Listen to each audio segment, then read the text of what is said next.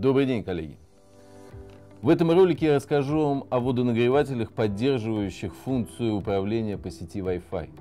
Для того, чтобы вы могли поделиться этой информацией с конечными пользователями и объяснить им, что это не только значительно упрощает э, управление их водонагревателями, но и главное, позволяет сократить затраты, связанные с электропотреблением, более чем в два раза. А если быть точным, при правильном использовании до 55%.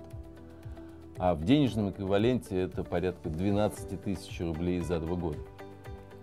Ну что ж, давайте перейдем непосредственно к тому, как это все работает.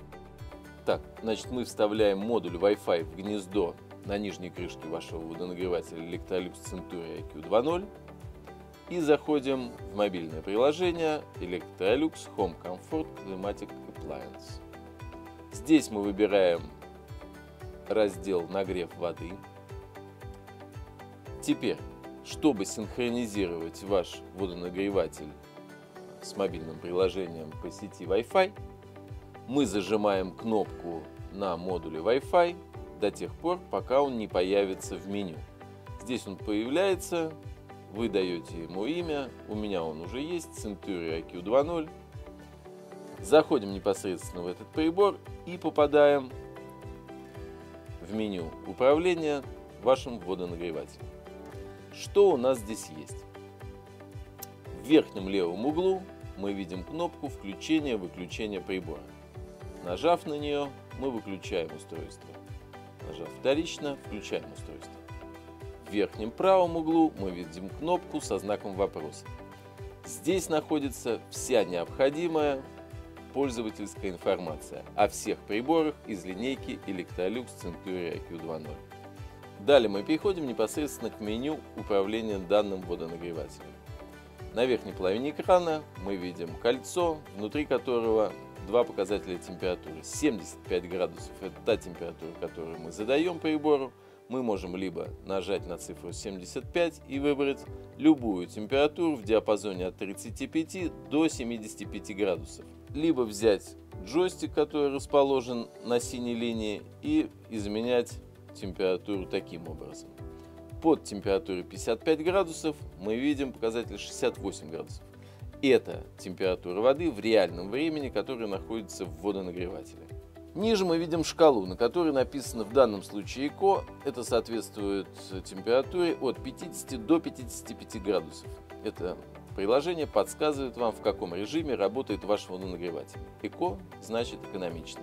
Далее мы переходим к функции мощность. Здесь мы можем выбирать один из трех режимов нагрева. Далее находится главная кнопка это режим экономии. Включаем режим экономии. Приложение предлагает нам ввести время, когда вам нужна горячая вода, утром и вечером.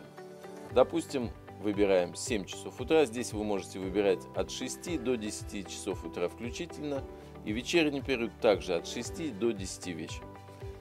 Допустим, выбираем, что горячая вода вам нужна в 7 часов утра, а вечером нужна в 9 часов утра. Нажимаем «Подтвердить». Здесь нам приложение напоминает, что при активном режиме экономия управление другими настройками недоступно. Для их активации отключить режим экономия. Вот так выглядит меню управления при включенном режиме экономия. Как вы видите, действительно все другие функции недоступны. Чтобы ими воспользоваться, нужно отключить режим экономии.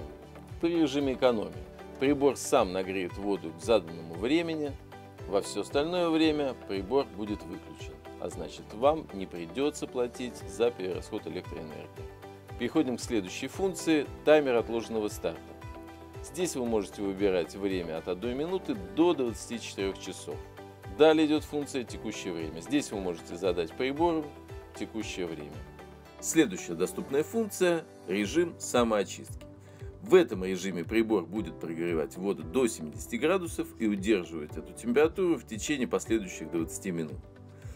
Режим автоматически запускается через три дня после последнего использования бака и будет включаться далее раз в неделю. При активации этого режима происходит полная антибактериальная термическая обработка воды.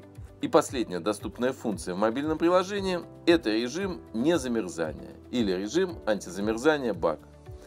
При активации данного режима бак сам будет отслеживать температуру наружного воздуха, ориентируясь на температуру воды в баке. И как только она опустится до температуры ниже, чем 5 градусов по Цельсию, бак будет ее поддерживать на этой отметке при минимальных затратах электроэнергии. Теперь вы можете не переживать, если ваш водонагреватель установлен в бане, где нет отопления, или на даче, в загородном доме, вы спокойно можете его оставить, зная, что в случае понижения температуры бак сам о себе позаботится. Как вы видите, пользоваться мобильным приложением и управлять водонагревателем Century IQ 2.0 по сети Wi-Fi просто и удобно. И самое главное, выгодно для вашего семейного бюджета. Следите за нашими новинками. До скорой встречи. Пока.